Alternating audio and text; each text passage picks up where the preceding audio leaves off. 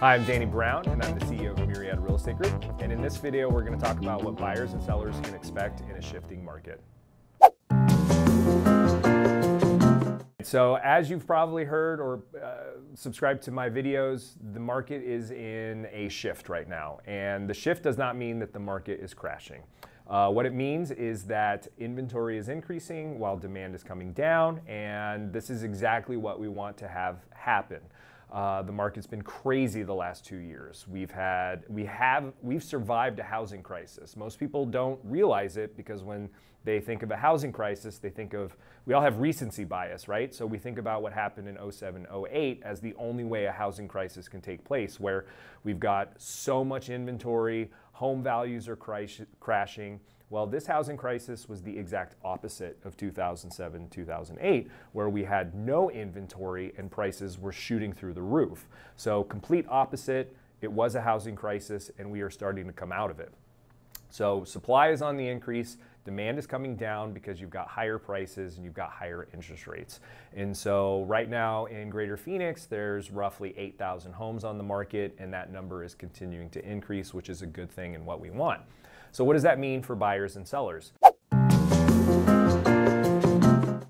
Well, if you're a seller in this market, it means you're going to have longer days on market, you're going to have greater competition, you're not going to be able to put a sign in the front yard and sell within hours or the first weekend.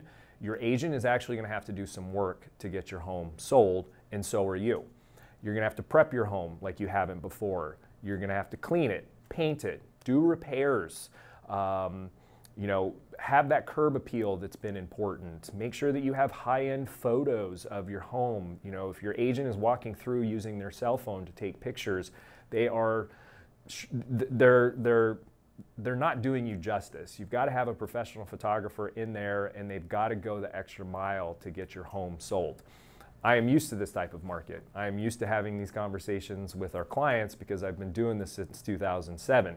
And so, you know, having discussions on price reductions. We are going to see and have started seeing more price reductions than we've ever seen before. The thing to remember is that price reductions are very different than uh, sales price. Sales price is not dropping, it's just kind of leveling out. And so the rest of the year, the foreseeable future, that level of appreciation is not crashing, it's just slowing down. So sellers can still expect to get good value for their home just not ridiculous value for their home. Sellers, be prepared. This is a much more balanced market. You're going to need to do more to get your home sold. If you're a buyer, this is not this is much nicer. This uh, this feels like a vacation after what we've gone through, where you have some options finally that you don't necessarily need to buy a home in a terrible location just to get into something, that you can negotiate on the price or get the seller to help uh, contribute towards your closing costs. We're having luck in getting buyers uh, repairs to their home or large credits in lieu of repairs. So this market feels a lot more normal and a lot more balanced uh, versus the last two years uh, that we're coming out of. So in Greater Phoenix, as we all know, it is super hot right now. It is about mid-June. We're in triple digits. We've already hit the one teens and I hate it. Like I am not looking forward to, you know, the next few months. I loathe June through September. Uh, but what that means for the housing market is our seasonality kicks in. This is our winter, right? So the rest of the country is headed into their summer and their housing market picks up. while ours slows down. Um, so we see a lot more families take vacations, a lot of people leave Phoenix, so our population actually decreases during our summer months, and so less transactions just happen overall.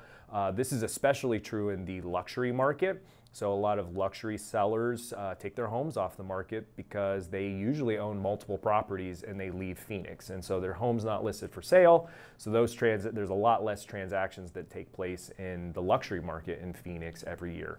Same with retirement communities. So your active adult communities, a lot of those people leave town and those markets dry up dur during the summertime. So our seasonality is starting to kick back in. So less transactions are going to take place. That means buyers, you're going to have less competition. So we have increasing inventory right now with less buyers in the market. So again, that is much more ability to negotiate. So no more waiving of inspections, which you shouldn't have been doing anyway, or shortening those inspection periods, waiving of appraisals. You don't have to do any of that anymore.